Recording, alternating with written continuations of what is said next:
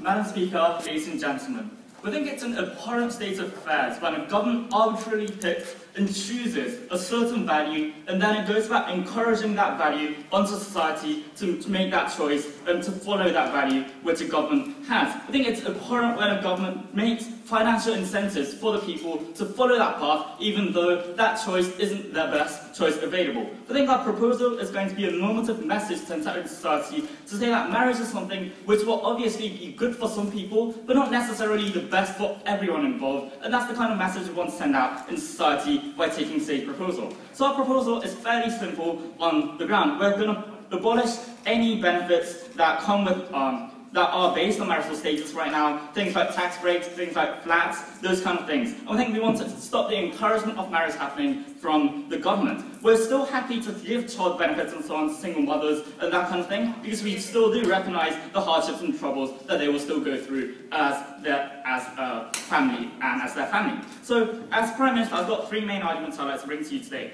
Firstly, no thank you, I'm going to first talk about how a government encouraging citizens into making a certain value choice, especially in cases of a private issue, is wrong. Secondly, I'm going to talk about how marriage is inherently a way to keep people out, how marriage, the concept of marriage in itself, is a tool for exclusion. And thirdly, I'm going to talk about how it's going to be better with by taking our proposal where those couples that decide to stay together are going to be sticking together because they genuinely want to, not because they can get, they can not because they have to pay less tax or because they have any financial incentives. So moving on to the first argument, I think that it's wrong for a government to say the concept of a good life and the main concept of a good life, the best choice that you can have, the best form of family you can have, You're is right. the form of marriage. I think that when a state goes in to send that message, we think it's abhorrent, we think that's simply wrong on the ground. Because we recognise from our opening government that each and every person has different values and each and everyone has different views especially on marriage as well. Some people do enjoy marriage, and some people like to stick together, some people necessarily do not want to be together. But the fact is, one of the problems that we see in today's society is that the state is creating a certain amount of pressure onto people to have to make that choice, to have to be married, to, see, to be seen as a successful person in society, a successful citizen in society people are pushed into making that choice even when they actually are undecided on whether they actually would like to marry that person or not. Take the example of Japan, where if you are a woman over the age of 30 and you're still unmarried, a, still a big social stigma exists on you where people expect you to get married and they are seen as leftovers, which I think is personally a horrible thing. But that's yes, that's the thing we want to abolish. I think that in these instances, people are pushed into becoming engaged, and it's going to end up, in the long term, they're going to end up regretting that choice. We think it's going to end up in an unhappy way as well. I think that this harm doesn't only exist up until the um, exist to the extent of these husbands and the wives, but also for the future children who are going to have to depend on these parents in that family per se. I think we can also see that harm happening. I think that when we have a state celebrating the concept and the idea of marriage and pushing it forward in society and encouraging it as being the choice that you should go about making, it's also seen as making another kind of a social message, saying people who choose the other types of lifestyles, people who choose to, to, to stick together but not get married, or people who choose other kind of um, lifestyles are seen as deficient. It's a, a, derogatory message sent to the rest of the people who we do accept as being a majority in society as well. I think that's something which we need to go about fixing in society. Yes? Does everything the state have to do benefit every single person in order for the state to justify subsidizing it?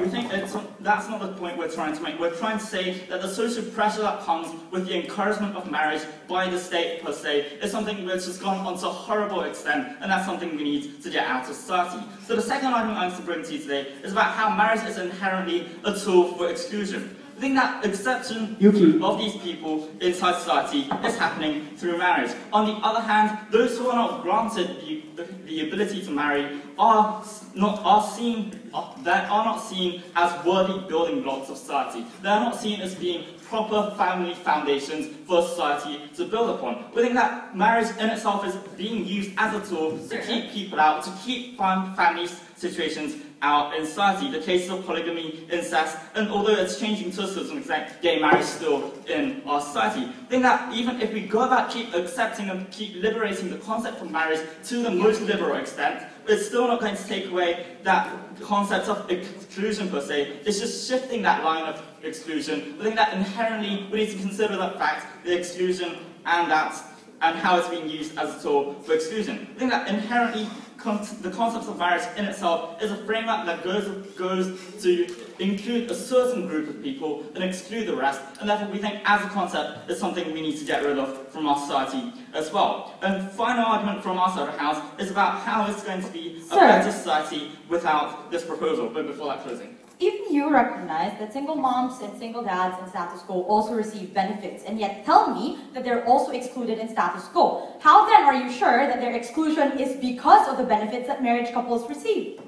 we need to recognize the fact that the concept of marriage in itself is inherently ex exclusive for the people on the ground. We're talking about cases where gay marriage is not allowed in certain areas in certain societies. We're talking about cases where polygamy is not allowed in many liberal democratic societies. In these instances, the people who want to have that kind of value also have a legitimate choice, and that's the belief that we have from our side of the house. I don't think we can simply say and place a value to say the heteronormative value of marriage is the best value and the only value that people should choose. I think that's something we need to go about changing, and that's the value which marriage and the concept of marriage goes about entrenching in society. I think that's, that's something we need to change. So the final argument is about how, if you are really together, then you don't necessarily need to have financial incentive to stick together. By taking a proposal and without the concept of marriage, or without the encouragement of that concept of that marriage, we think that we're going to see a situation where those that choose to stay together, those that are going to stick together, are those people who genuinely want to stick together. Not because the other person can can give you that less amount of tax, not because just by being with that person, you get a flat on TV and a refrigerator. We think it's, this concept we want to celebrate is a case in a society where people stick together because they want to stick, stick together, because they feel the pure love for each other, and that choice that made to be with the other person is not a choice made through financial incentives and financial encouragement, but a choice made from the feelings that they have at the bottom of the heart. So from our side of the house, we believe that concept of marriage is something which inherently excludes people. We think it's something that the government should never intervene into. And We think it's going to be a better situation for the family in general. And for these reasons, we're very proud to propose. Thank you, Prime Minister. Now I would like to call upon the Leader of Opposition, Akira Kato, to give his constructive speech within seven minutes.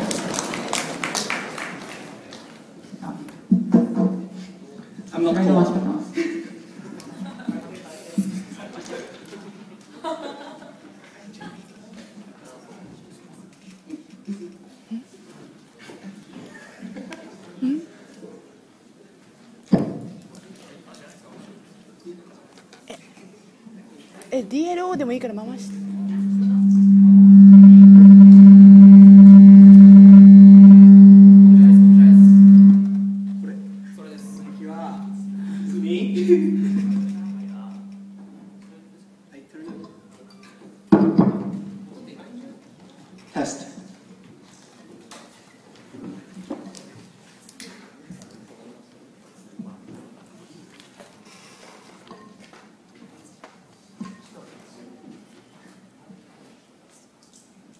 Ladies and gentlemen, we on the side negative believe that group formation leads to emotional foundation, emotional network, which is vital for individual, and we think marriage should not be an exception as well. Just like religion, just like indigenous communities, we see subsidies should be given to the communities which are group formation, and we see marriage should never be an exception, especially when we value emotional security as the most important concept in liberal democratic states. Based on this, I have three points from first speaker.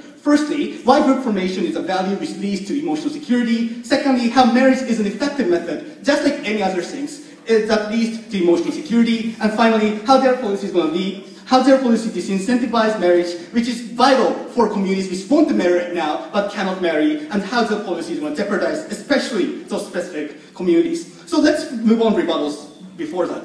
Firstly, let's confirm our stance. Our Women's Side Negative is happy to happy to uh, um, support expansion of marriage, such as welcoming gay, gay marriage, such like how we see in Netherlands, just like how we see in France. We say similar thing can happen, and we're happy to minimize those kind of exclusion to the maximum extent. Based on this model, two point rebuttals. First thing we heard was this is about pressuring individuals into easy choice. There's always distinction between coercion and encouragement. Always there's distinction between encouraging individuals with monetary capacity and coercing individuals to not let under any other choices open for them. Obviously, this money is like not like akin to like shooting a gun at someone to force you to marry. Obviously, that's not obviously the context in liberal democratic states. No, thank you. Especially when marriage is a vital choice that individual would make. Especially when it's a contract that says, I'll be staying with this partner for the rest of your life. We see there's excessive amount of deliberate procedures that is behind this action to conduct marriage beforehand. And often the case that marriage is not done like randomly. I'm not going to go into the street and suddenly decide to marry someone. Obviously, there's a procedure to actually find a best partner for me, and obviously there's possibility of dating as well. There's always deliberate procedures behind it. There's always you know easy choice, no pressure to happen. The second point rebuttals with this analysis of social message to have stigma on non-married couples. The principle and premise that underpins their case is we're only subsidizing marriage couples, but that's fundamentally incorrect in liberal democratic states, right? Because it's same as other incentives we glued to group formation, such as how we give tax cuts to religious organizations, or how we co-subsidize indigenous communities so they can establish their languages, schools, etc. We say since it's one form of group formation, we say that should be reflected. On to my substantive. Firstly, how, how the state has legitimate interest in protection of group formation which leads to emotional security. Because what we have to recognize here is individuals are actually weak. It's, in, it's structurally difficult for one person to simply live alone. Maybe some people in this room can, but I cannot. There's obviously a necessity of staying with someone, especially in this context. What is the case? Firstly, a human network rely on leads to vital part of sense of belonging, to define a place that you can go back in the place whenever you want to. Secondly, it's a place to cultivate identity and self-esteem. Because the play point here is identity is counter-subjective. It's something that's defined by others and the place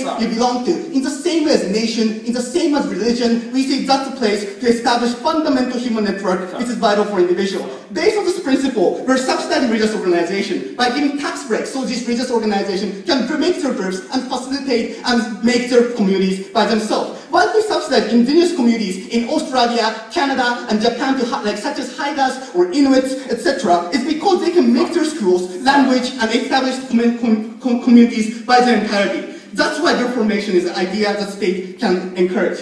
Closing. Okay, if the genuine purpose of marriage is emotional security, arbitrary state funding is rather distorting the genuine um, purpose of marriage by giving short-term incentive for people to get married with ease. According to your logic, you're fundamentally offensive any individuals who are making communities, such as this individual, such as in this community, their policy is simply absurd. First, No, thank you. Second point, second point, how marriage is a one form that leads to emotional security. Because what we have recognized here is exclusive uniqueness of marriage. Unlike boyfriend and girlfriend relationship, which can be opted out easily, nor be not recognized by the state, marriage is unique in a sense that the contract that you still definitely still till death. And it's a place that you'll be staying forever and will be recognized by the state. That, that based on this principle, state and recognize the fact that marriage is a core in the core part of group formation. That's why in Singapore, in public housing, it's prioritizing couples which are married in the individual because state recognize that marriage is an individual actor. Secondly, in case of Germany or Japan, they give welfare based on family, not based on individual. It already shows and recognizes the fact that family is a vital part of individual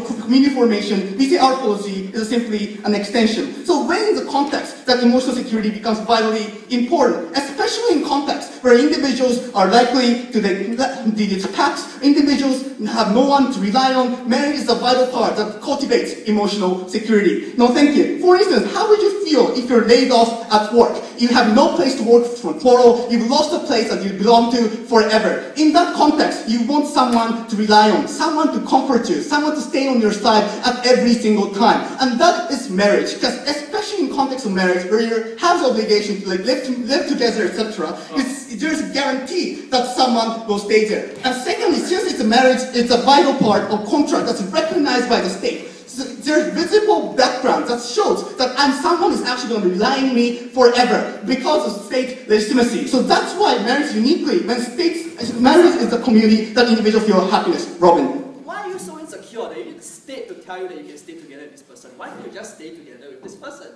I've already spent lots of time explaining to you how this is different from boyfriend-girlfriend relationship. You should have listened to my speech. But more importantly, how it's different from any other group formation, right? That's the burden of that Robin has to explain. You're out of order, by the way. Final substantive. How their policy disincentivize couples who actually want to marry? Because, ladies and gentlemen, what we have to recognize in this community is that some couples need money for their marriage. We're not saying that marriage, like money, is a vital part of individual, but for some community, money is necessary to have to, to conduct marriage. We point to example of young couples who just graduated from university, who requires a place to live together, who want to have their children, especially in those contexts. Some money has to be necessary. For these communities, if you take their policy, their community simply let this individual not to have marriage. You're going to have delay of marriage even if you want to stay together and you want to make community formation, even if it's a vital part of this individual. Their policy basically say, since you don't have money and since you're not prepared, you're unable to marry and we're not going to help you even though you need money for these communities. We have to recognize, especially in these contexts, that marriage is necessary. Ladies and gentlemen, we've told you the state already backs up ideas which protects and cultivates emotional security. Marriage is not an exception.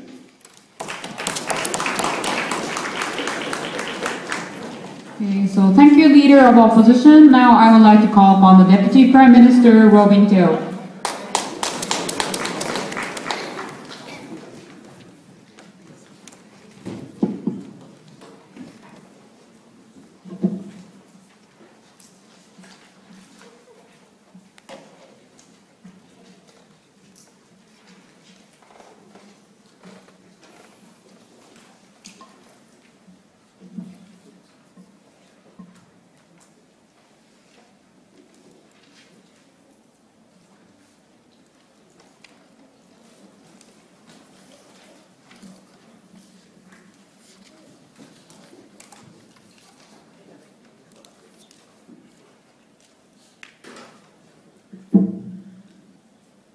Now, I recently attended a wedding of a friend. She's pretty smart, no, pretty independent, pretty pretty smart, with a good career. And before the altar, the priest asked her, "Do you pledge before Jesus and before God to stay submissive to the husband to death do you part?" And she said yes. And I was utterly horrified. I knew exactly who to blame. Because I understand that the regressive norm that made her submissive was not caused by marriage, but it was entrenched and it was normalized as a consequence of marriage and imposed on billions of billions of people throughout the annals of human history. That is why we think this policy is an essential first step to, that, to knocking down the sanctity that marriage has, to ensure that people are able to question whether marriage is for them and whether the norms that are inherent in marriage is also for them. And that will be the basis of my substantive. Before that, a few points of rebuttals. First, closing opposition's POI that other factors created the exclusion, that somehow exclusion is not the fault of marriage. And to a small extent, we agree.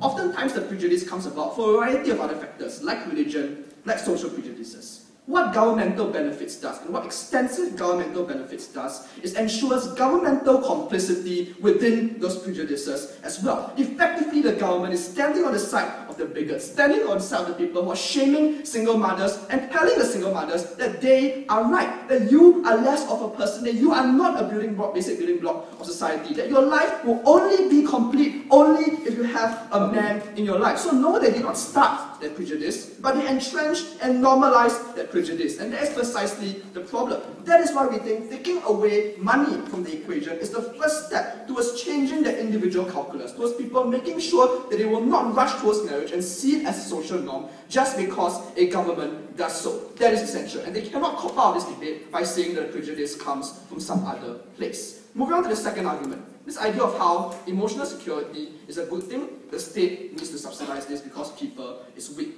Like first and foremost, and here's something Yuki already told you, we don't think that love requires governmental subsidies in order to remain strong. If your love is fated to remain strong, it can remain strong. In fact, love can only be ascertained to be true if a couple actually stays together without the state having to give them thousands of dollars for their entire life in order to do that. And that is the true test of love. They use the example of religion. We are happy to abolish tax breaks for an institution that's fomented misogyny and homophobia for the entirety of human existence. But more than that, Amen even if Akira would feel more secure about his non-existent relationship through state subsidy, we still don't think that is worth the social exclusion that's created as a consequence of the subsidization of marriage. To put it simply, when even though he said that it is a choice, when you when you funnel money into marriage, you're forcing that security on people who do not necessarily need or want or are suited for that security. You're telling that single mother or the person who'd rather be promiscuous or that person who simply doesn't think marriage is for them that you are not suited to raising children, that you are not the basic building block of that society. And all because a couple who is in love wants to feel more secure in their love.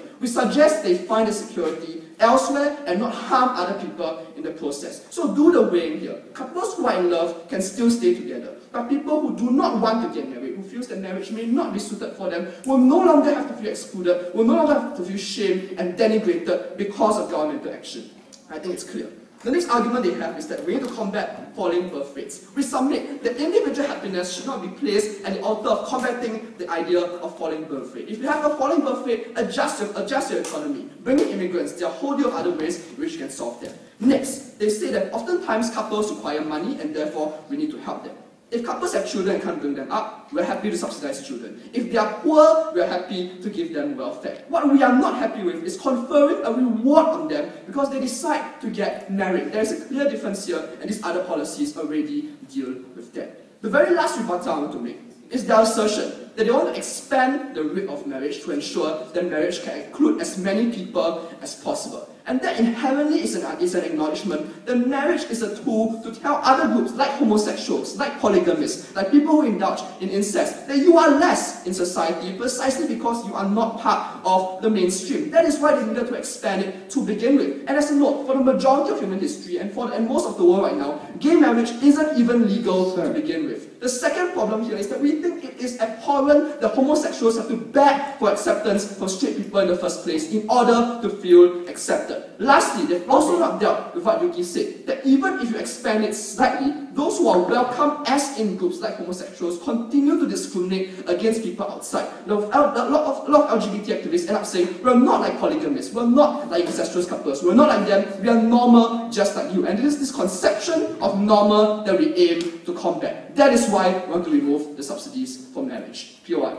Okay, how does just giving the money to married couple lead to somehow coercion of individual who's not wanting to marry? Because this debate takes place in a context where marriage already is seen as a social norm, where there is slut shaming of single mothers, where people who are outside the norm are already seen as less, and you're making the government stand on the side of the people who are shaming them. There is a clear matrix here, you cannot deny that this exists. I suggest you move on and tell me why that is beneficial. On to my first substantive, the argument about why marriage is a means of entrenching regressive norms. To put it simply, the sanctity of marriage means that the actions that happen within marriage often are not questioned, even if they seem wrong from any conception of the good, from any conception of equality or feminism. Millions of women have been forced to give up their careers to stay at home because that was, that's what society dictates them. Because divorce is not an option in conservative societies, even Catholic societies like Ireland, for these women. In, in Italy in the 1940s, there is a rule that the government and other families cannot step in when there is domestic violence because what happens in a bedroom is between a man and a woman. Even in Singapore, marital rape is seen as less bad as real rape because it happens within a marriage and the couple should take, should, should, should, take, no, should, should, should take care of that. Now I agree, these are terrible and that is the problem. The sanctity of marriage ensures that people are less likely to interfere because they are afraid of interfering with the sanctity of marriage. That is why we want to break down the sanctity and we think that is immensely important as well. Last, I want to talk about children. I'm terribly surprised I didn't talk about this. First, we think oftentimes the people who are not suited to marriage end up being married because society and the government tells them that they should be married. Unhappy marriages are often worse for kids than, kid, than kids with other forms of arrangements like single motherhood. Many kids are more, so, are more screwed up right now because they stay in unhappy marriages and are unable to form proper emotional bonds for themselves in the future. We think if marriage is desanctified in the long run, people can explore other means in which to bring up children that may in the long run benefit these children more more than an unhappy marriage ever will. That's why we put other things like extended families, for instance, or even friends, bring up children, are things that are not explored precisely because marriage is seen as a norm, and we want to combat that. Ladies and gentlemen, we don't deny that prejudice comes from everywhere. But when a government is subsidizing that prejudice, when a government is standing on the side of that prejudice, we propose to walk back from that. That is why we're proud to propose. Thank you, Deputy Prime Minister. Now I would like to call upon the Deputy Leader of Opposition, Ko Anikura, to give his speech.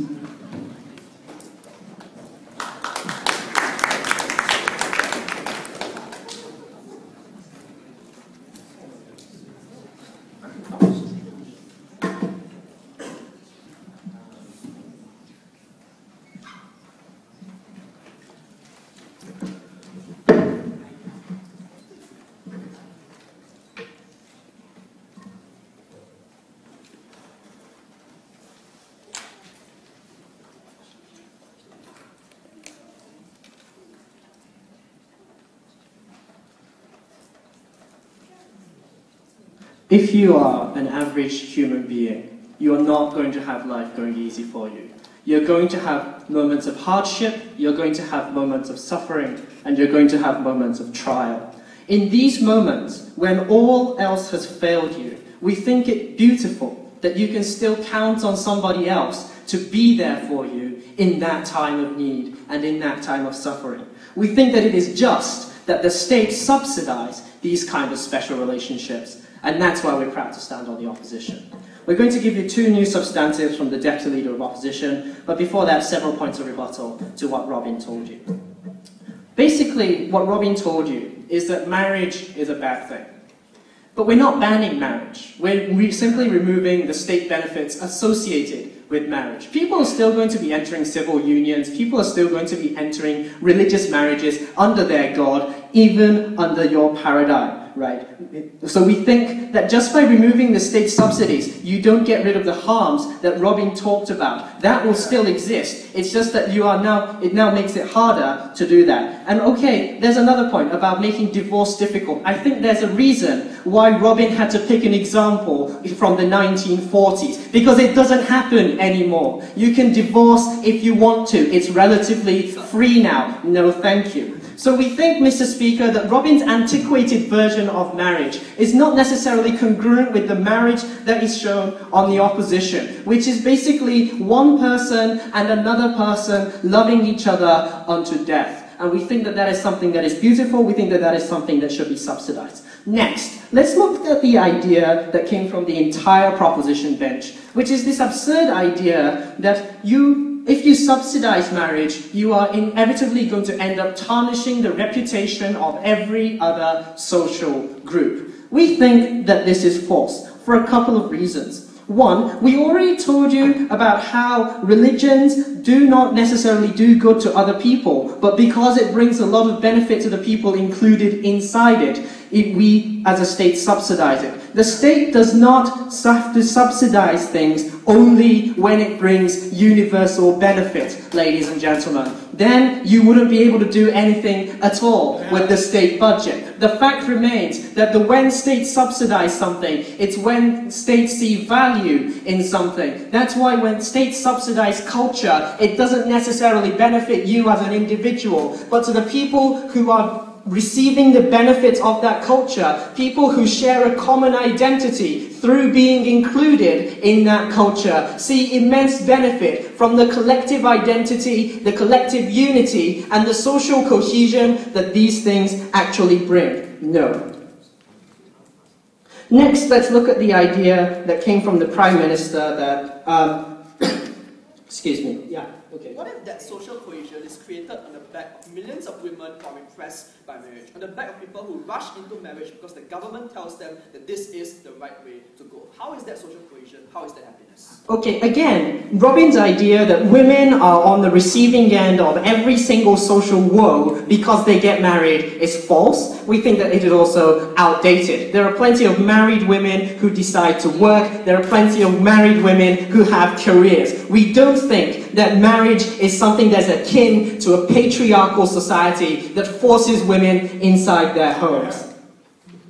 Again, Mr. Speaker, let's look at why marriage is important, right? Akira already told you about how it, marriage brings you emotional benefits by comparing it with other ethnicities and in culture and things that bring benefit. Let's look at what marriage brings you. As I told you in my introduction, you're going to be, you're not going to have everything going easy for you. In that kind of moment, Mr. Speaker, Yes, you do need a friend. No, thank you. Yes, you do need a group of people beside you. But most of all, Mr. Speaker, you need a specific individual there for you in, in times of need. Having seven friends is not enough when you are facing depression. You need that one person who you can relate to, that one person you can spill all your grievances to, and that one person that you, as a person, can feel confident that they will always be there for you. And we think that that is what makes marriage functional. We think that what that makes, that is what makes marriage beautiful, and we think that that is why the government should subsidize it. Because what Robin told you here, no thank you, is that these people are forced into marriage. We don't think so. People decide to get married not on the whim, as Akira told you, right? People get married through due procedure, they go through courtship, they date each other for maybe five years, I don't know. And then, then they decide to get married, or then they decide that this person they dated five years wasn't for them. They can move on and find somebody else. The fact remains, Mr. Speaker, that yes, fine, maybe even if people are coerced into marriage, you are still forgetting that you are making it that much more difficult for a couple to remain married, that much more difficult for a couple to start a marriage because you place all these financial burdens on this individual. Lastly, let's look at the idea of how this marriage, how marriage is creates a conducive element for child upbringing inside our society. We told you that marriage creates bonds, and we told you that marriage creates cohesion. On our side of the house, we think that this is what is this is an environment that is conducive to effective childbearing. We think that this is an environment that is good, that raises good children. Why? Because children are always looking to their parents for guidance and for support. And when these children see their parents together every single time, in times of need and in times of joy. We think that the child actually does manage to learn love better than when, a, when your girlfriend leaves you just because you lost your job and you now have to raise your son all by yourself, Mr. Speaker. Next, we think that because both parents are there for their child and also for each other in times of this hardship, we think that the child also manages to learn love. And we think that these, this kind of environment creates children who are compassionate, creates children who have feeling, and creates children who are emotionally more stable and therefore more capable. We admit that it's not necessarily the best idea, but we think that it is a better idea than every single idea that has been tried, and that's why we're very proud to oppose. Thank you, Mr. Speaker. So, uh, Madam Speaker. so we have we, we're going to be talking about the extra benefit which under, under the current situation government giving to these kinds of benefit uh, that means um, uh, for the marriage people and we, uh, we want to say these kinds of benefit itself is distorting the genuine function of marriage itself. We totally agreed with opening opposition, that means emotional relationship or genuine tie between two persons. But by giving these kinds of economical benefits for these kinds of individual, uh, two, uh, two individual or three individuals, or so forth, uh, it's distorting the genuine function of the marriage and it is it's a counterproductive what the opening oppositions uh, want to protect. So therefore we say we are very proud to propose this motion. So I have uh, many things to talk about and please listen one by one. Hate the labyrinth or signpost. So anyway, so firstly, I want to talking about the prerequisite of marriage and what kind of the, what kind of the function marriage have. So, Mr. Speaker, the marriage itself is require genuine tie or understanding of each other. And the simply because I think that is a very beautiful thing. So, so but the, uh, practically, because when people marry, uh, when people marry, we give the very strong or deep right for two guys. So, for example, that means uh, proxy consent or so forth. That means uh, when you die or when you're dying and you don't have any conscience, and in such kind of situation, if you marry, and that means you become family, you can you can consent. Uh, you can represent these kinds of people's ideas. So, for example, agree to the euthanasia, or sometimes the other very huge or deep, uh, very dangerous surgeries, or so forth. Then the, this kinds of partner is uh, don't have conscious, and in such kind of situation, actually, this kinds of partner, which who married, can uh, pro, uh, uh, can represent this kinds of idea. We giving these kinds of rights, that's simply because we believe that these kinds of marriage, uh, marriage to couples or partner have the genuine consent or genuine understanding or genuine tie between two persons. It means a deep understanding and deep unity between two persons.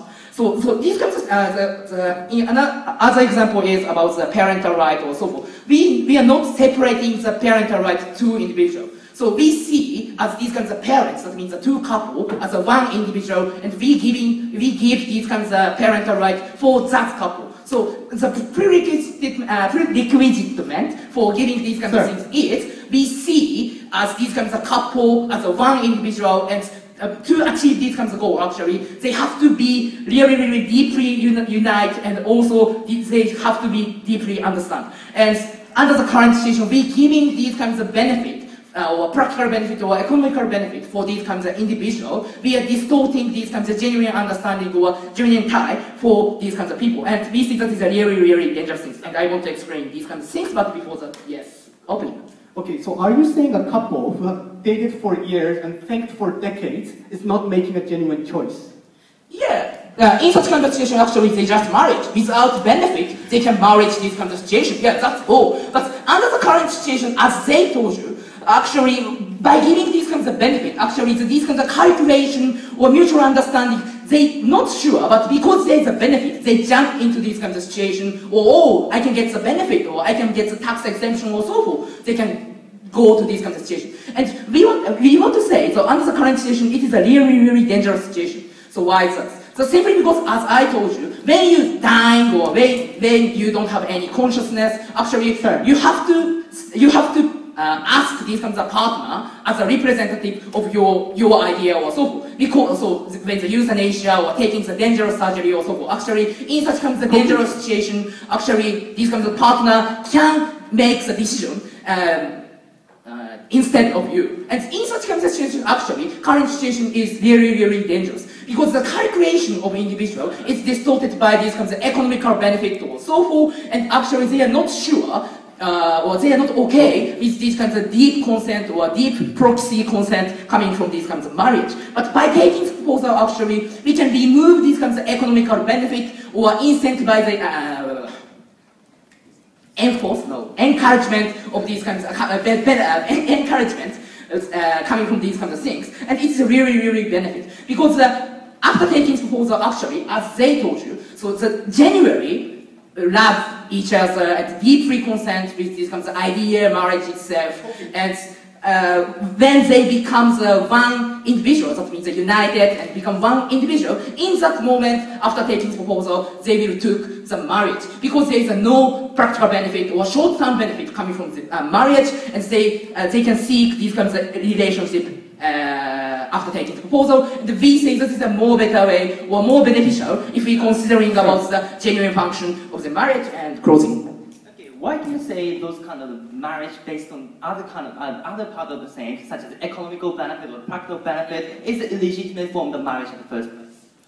I don't say that it's an illegitimate form, like the separation of the, your wealth or so forth is uh, legitimate, but we are talking about the tax exemption or sometimes the other external or extra benefit for these kinds of things, because that is uh, totally unnecessary. Of course, it is a make benefit for them, but when you're talking about the genuine consent of these kinds of two individuals, actually it's just a harmful. And also, as all told you, actually these kinds of marriage require the genuine relationship, emotional tie between two individuals, and actually in such kind of situation, actually uh, it is a distorting.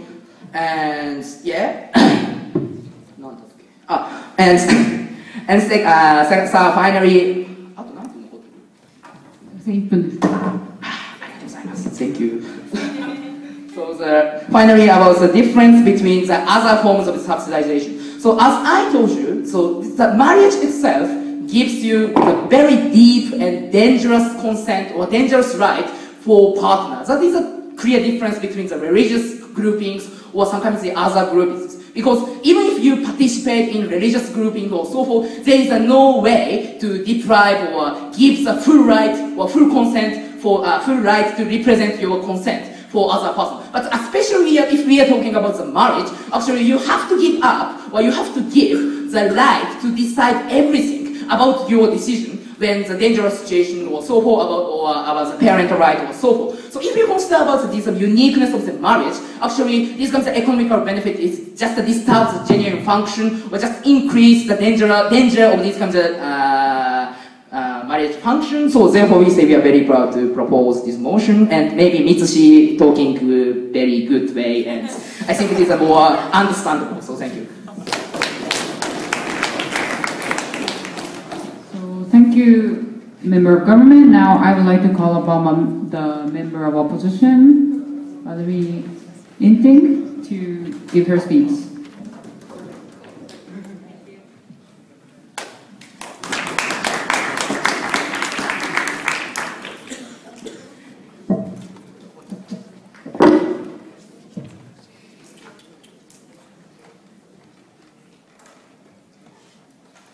We agree that marriage in its current form is a bit exclusionary, if not a lot, right? The fact that it's only monogamous, so that I can only marry one person. The fact that it's based on romantic relationships, so that even if Koa and Akira are friends, they can't marry each other. And the fact that it's highly heterosexual in nature. We think, though, that this is a case for expanding the types of marriages that we're going to accommodate in status quo. The fact that we're going to be more understanding of LGBT individuals, the fact that we're willing to grant marriage certificates and marriage benefits to polygamous couples for so long as they stay together permanently, and the fact that we're also going to be accommodating platonic individuals or people who are friends, but this isn't a case for abolishing marital benefits altogether. That's why in closing opposition, we are perfectly okay with extending marriage benefits to friends who want to get married as well, and there need not be a romantic relationship that occurs between the two of them.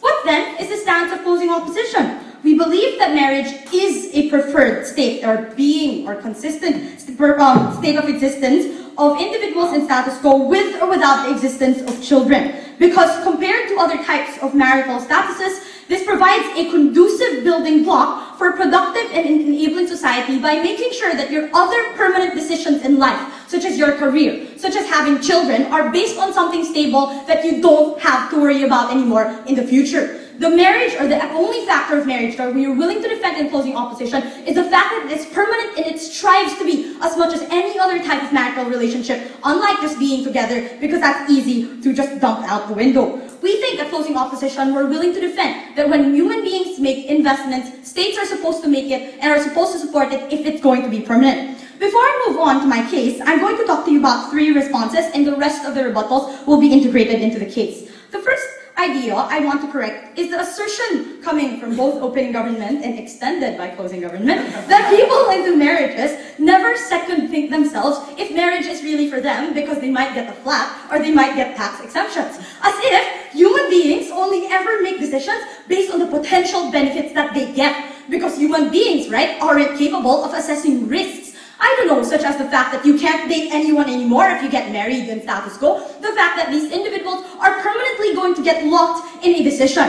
There are so many inherent risks to marriage that deter individuals from taking it if it's really not for them. Human beings can access flats, for example, or tax breaks through other ways, such as, I don't know, getting money through your career and succeeding in your job, right? But there is no other way that you'll be able to access a human being that you love unless it's for you. That's why human beings always think before they get married. We agree there are some stupid people like Britney Spears, for example, who have five-minute marriages, right? We won't deny that. But those people are exceptions more than the rule. And we never should judge anything based on the exceptions because those are people that we aren't even willing to accept in status quo and we're willing to tell them that that's wrong. That's why when closing opposition points out in a POI that aren't we devaluing marriages by giving them short-term benefits? Um, I don't know what kind of benefits you're talking about because the benefits we're giving them are not short term. These are benefits that you will only ever experience for so long as you stay married, right? So nothing about it is going to be short term and nothing about it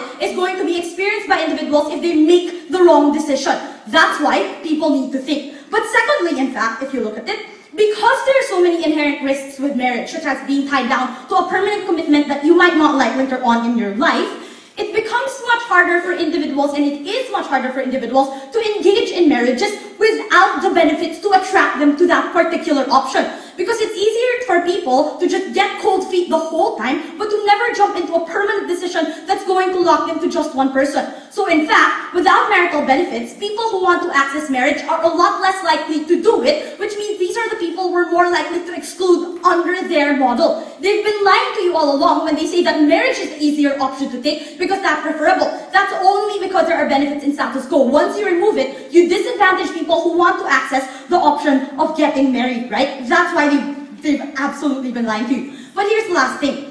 Yuki then tells us, in closing government again extended it, by telling us that couples staying together simply because they want a flat in Singapore or for economic reasons is not right. They should only be because they genuinely want to. What does that even mean? What does it mean for people to just genuinely want to be in a marriage? Because for a side that doesn't want to exclude anyone, it's a bit rich for them to tell us that the only reason and legitimate reason to stay together is love. And because genuinely the two of you are supposed to like each other for the rest of your life. Why is it not equally noble that people want to take care of their children and they want to take care of, of them enough for them to stay together even if they don't like each other all the time? Why is it not equally noble that people are being practical and they want to build a society where individuals aren't collapsed and individuals aren't fragmented because of their social relationships? This is why we think that obviously you cannot tell me that this isn't a legitimate reason to stay together. Why then do we think that marriage is the preferable state of being? Let me be the first person in opposition to tell you that it's preferable both as individuals and for building families. Because if you look at it, what marriage offers is the highly like, you know, high likelihood that people are going to stay together permanently. Dating, for example, non-permanent relationships, and relationships that you can opt out to any time without the state's discouragement of it are very time-consuming and consuming of the energy investments that human beings make. I.e., this is not an ideal state for people to make other types of permanent decisions in their life. If they're constantly worrying if their partner can leave them anytime and at any point in time, they constantly cannot make decisions such as whether or not they want to have children or whether or not they can invest in a particular career because at any point in time, the person they may be in love with may come from another country or may come from another city and that's not going to be conducive for other permanent decisions. Why is it in the interest of the state that people are always going to make decisions based on a home that is stable and are guaranteed to at least be there forever? Because this means that human beings become more product productive and are able to help out and empower individuals, whether they be their children, their friends, or their workplace, right? We agree that in status quo, other types of options, such as getting divorced, are available. So marriage isn't a guarantee that it's going to be permanent. But comparatively, we know that marriages are more permanent and a lot more guaranteed to be permanent than relationships that aren't there. Because although divorce is an option, it's not an option that is easy to take and even an option that the state actively makes it difficult for you to access to make sure that human beings think before they leave a relationship behind. Eh, we need marriages as a legal contract because it's a different concept for people to grasp that differences in, idiosyncrasies or that conflicts in human relationships are normal. That people shouldn't be striving for agreement the whole time because that's practically impossible, if not highly improbable. That's why we think they need a nudge from the state to at least remind them that even if human relationships are sometimes in conflict, a permanent relationship is the best way to go for individuals to build the rest of their lives on. This is why marriage benefits should always be there. Thanks.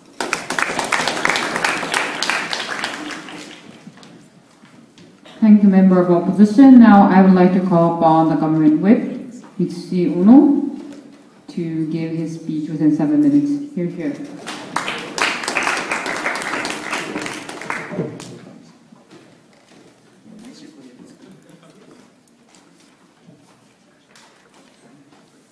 Thank you very much, Madam Speaker, ladies and gentlemen. I really love my girlfriend. I want to get married to my girlfriend someday. But when the state steps in, and when the state gives disproportionate, unnecessary incentive, that's the time the genuine purpose and function of marriage get distorted and dysfunctionalized. That's why we believe giving unnecessary magic subsidy or privilege to marital institution is rather harmful and counterproductive if we consider the genuine function and role of the mar- marriage. Opening opposition just talked about why marriage is beautiful in general, but they didn't really talk about why state subsidy is necessary, why state magic subsidy is necessary, or what kind of practical implication or effect is caused by the actual subsidy or even the magic privilege. Then the closing opposition seemed to have extended the unique nature of marriage by uh, providing many logic, but still, Mr. Speaker, ladies and gentlemen, they didn't really give us reason why we need to give subsidy or magic protection to the marriage, not just about encouraging them. I'm going to talk about two things. No, thank you. I will take you later. First of all, what's the genuine purpose and function of marriage in the first place? Second of all, how this kind of arbitrary magic uh, subsidy or privilege is distorting the genuine function and role of the marriage in the status quo.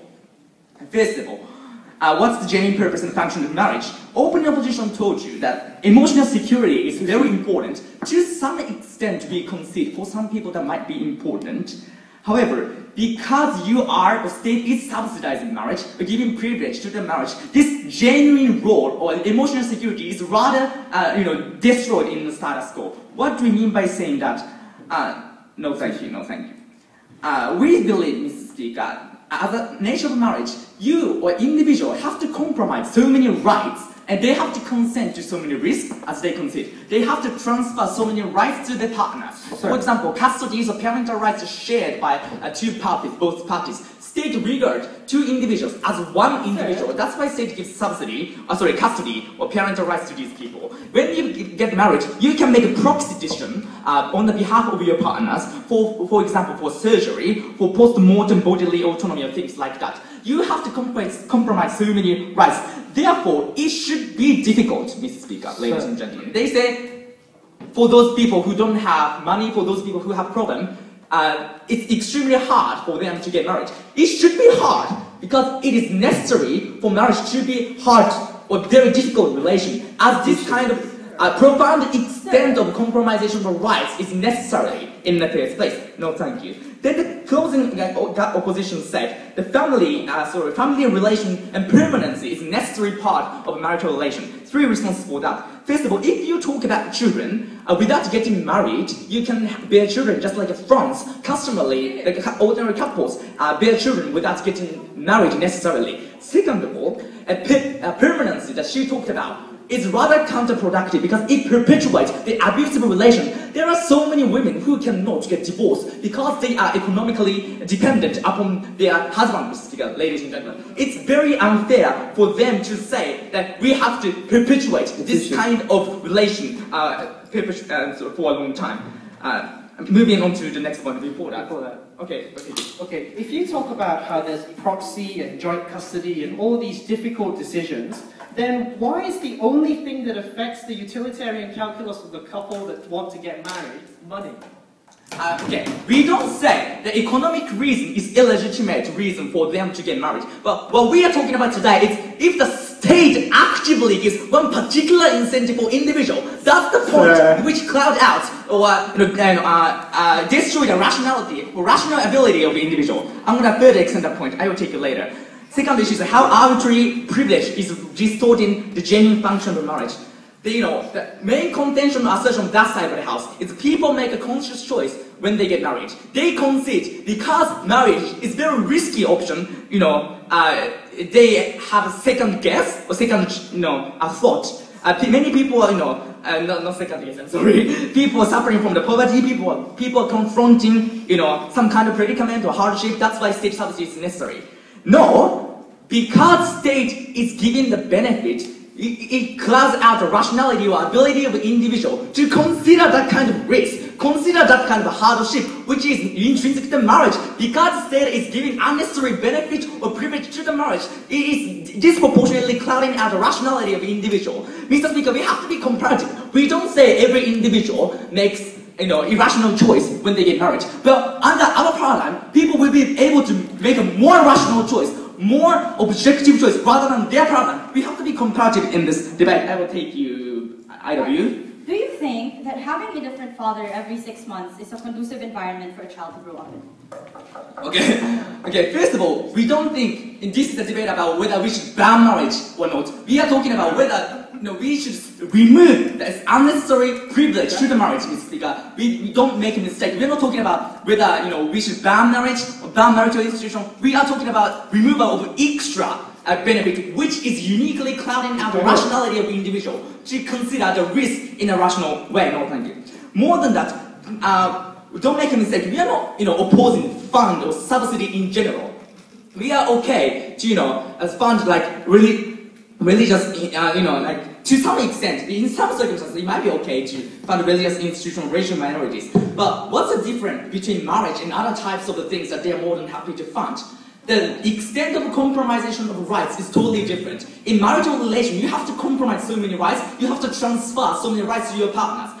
That kind of profound extent of compromisation of rights does not occur in other types of the circumstances that they are happy to fund. This is why we are uniquely or intrinsically opposing the you know, sub funding of subsidy to marital status in general. Mr. Speaker, ladies and gentlemen, the, uh, this kind of magic pri uh, privilege is giving false social status which disproportionately glorify the marriage as a social institution. Let's as they say, for example, young couples who are, you know, very vulnerable social preconception have a propensity to rush to make that kind of easy choice if the state actively gives, you know, uh, economic incentive or other type of social incentive, which does not ex exclusively occur under our paradigm, Mr. Speaker, ladies and gentlemen. So for all these reasons, if you want to keep the genuine function and role of the marriage, state should not intervene. It should be up to society, it should be up to individual. It will be comparatively better if we keep just uh, if we take the proposal. Thank you.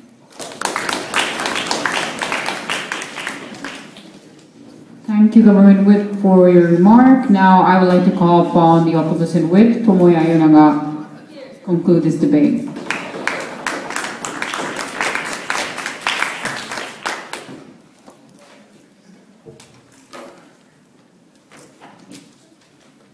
I know the government really is coming from some religious country or the religious community because they some, because they consistently think the love is everything in marriage. But ladies and gentlemen, the government will and even the member of the government they fail to answer the question that coming from the closing opposition as to why those kind of love is something essential, is something necessary to create a marital relationship between partners.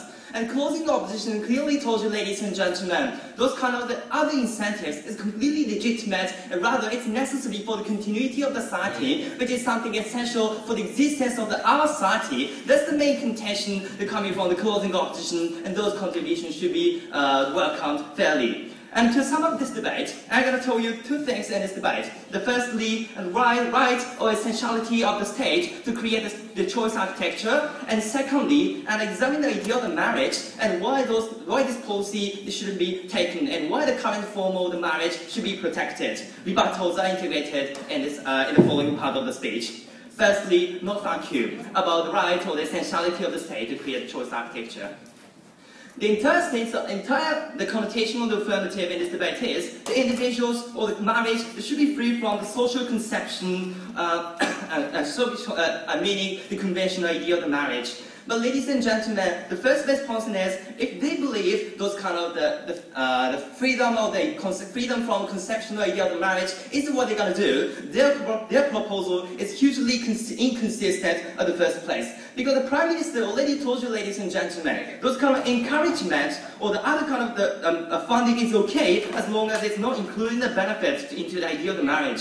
So their case is already failing, precisely because, ladies and gentlemen, no thank you, those kind of encouragement creates the social perception and more and more, even though it doesn't include the ideal material benefit, ladies and gentlemen. So their proposal or their stance itself is completely inconsistent towards their goal at the first place. No. And secondly, ladies and gentlemen, looking to examining this policy more and more deeper, and you can realize and the goal and the policy is logically irrelevant at the first place. Because, ladies and gentlemen, the improvement of the societal acceptance or societal acceptance of the single mother or single father, no thank you, and that those kind of denouncing the state of marriage don't correspond with each other at the first place. Improvement is available independently. So, ladies and gentlemen, we don't have to demean or we don't have to undermine the idea of the marriage to improve the to improve the societal exceptions on the single parenting. No, thank you. So, the, uh, as the example, ladies and gentlemen, men don't have to be undermined to improve the status of the women, even in the feminist theory. So, ladies and gentlemen, so their goal and their policy is logically inconsistent in the first place. No, thank you. And on that, on that issue, ladies and gentlemen, the our policy is quite okay because it creates no negative effect to the other states of the human being in the first place. Being single, being, uh, being the state of the single parenting isn't demeaned because of this policy, ladies and gentlemen. We just provide an extra benefit by demeaning or by negating any other form of the human relationship, ladies and gentlemen. So in terms of, uh, in terms of, uh, because, because of the nature of this policy, I mean the positive encouragement that this policy should be accepted, ladies and gentlemen.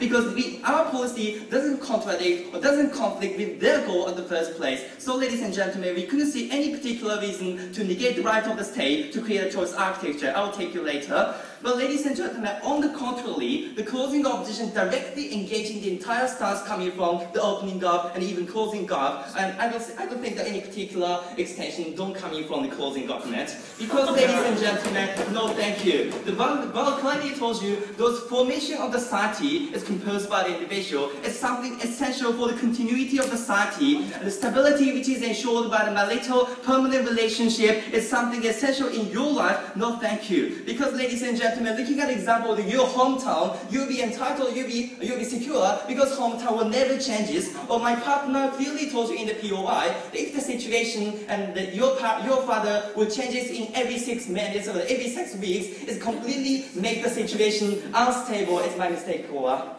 So, ladies and gentlemen, there's no, and on the other hand, those kind of explanation, the government they failed to engage this point, how stability is important. No, thank you. And my partner has clearly told you, that, and uh, those kind of the permanent relationship is basically difficult to continue uh, because finally we are different persons. That's why, ladies and gentlemen, benefits is particularly ensure, uh, particularly important to ensure those kind of permanent relationship later, because those kind of benefit gives you a chance to think twice because those kind of the existence of the benefit will, cre- will make the people more and more rational to consider more and more the existence of the marriage, ladies and gentlemen. So even in the terms of the rationality, and we can see our proposal is better. And before moving to the second issue about the idea of the marriage opening. All the benefits coming from extension stems from the idea that the investment in marriage is special. How special can it be when anyone can marry anyone at any time? Ladies and gentlemen, the human being is not that stupid as Robin told you in the first place. The marriage is something important for the individual. That's why the extremely simple case never starts. No, thank you. And moreover, ladies and gentlemen, the closing opposition clearly told you how those kind of stability ensured by the permanent relationship is extremely important for the human life. That's the benefit uh, uniquely told by the closing opposition. Sorry.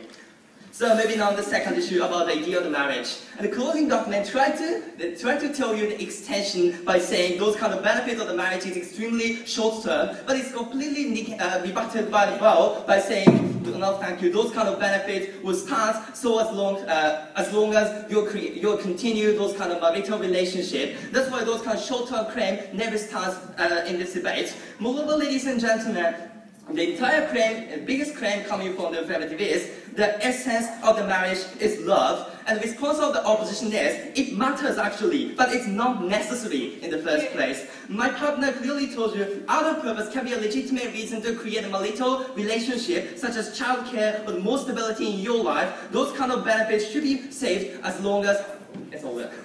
uh, as long as it creates a certain benefit in the first place. And moreover, ladies and gentlemen, the entire stance of the affirmative is extremely discriminatory because the government arbitrarily decides love is something necessary to create a marital relationship. So, ladies and gentlemen, the government arbitrarily decides the form of the marriage, which is completely negate individual freedom, individual, individual freedom of the conception or the idea towards the marriage. That's why, ladies and gentlemen, this policy will create, and this policy, uh, the states have absolute right to create a choice architecture for the individual to ensure the stability and continuity of the society. And we think the marriage is something, in the, uh, the conception of the marriage shouldn't be decided by the government arbitrarily, so we're very proud to oppose.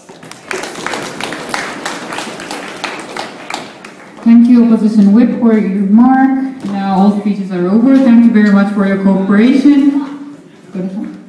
じゃあ皆さん、 ディベーターの、モデルディベートをやってくださったディベーターの皆様に拍手をお願いします。